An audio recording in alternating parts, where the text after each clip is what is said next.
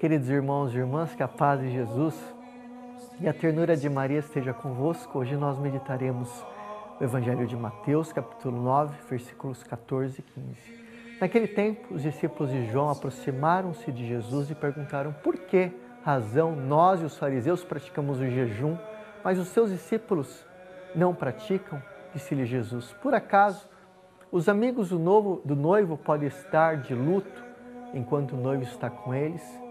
Dias virão em que o noivo será tirado do meio deles. Então sim, eles jejuarão.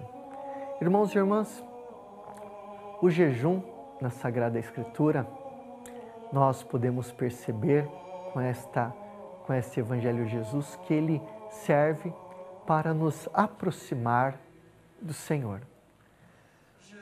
Os discípulos eles estavam na presença de Jesus, então eles se alegravam, eles estavam em festa.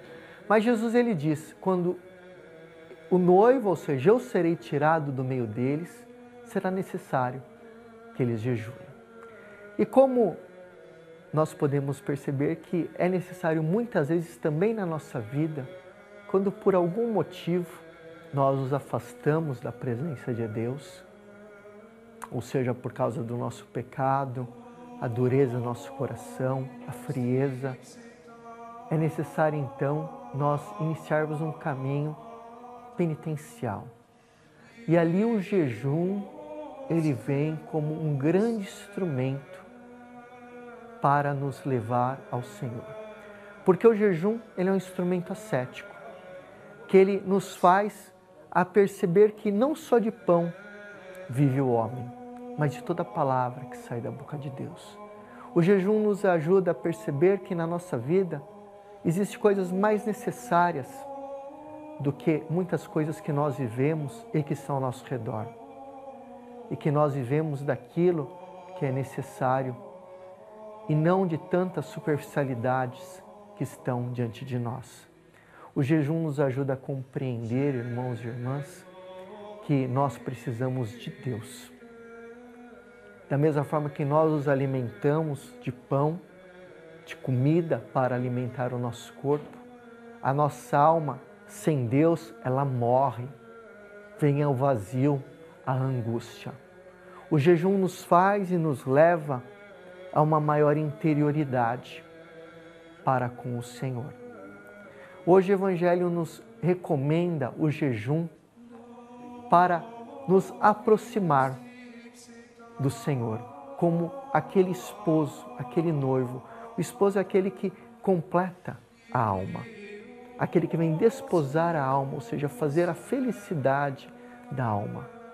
O jejum nos ajuda a fazer um caminho de purificação, nos desprender de tantos prazeres que nós buscamos com o corpo e que muitas vezes nos desviam da vontade de Deus nos desviam das coisas de Deus.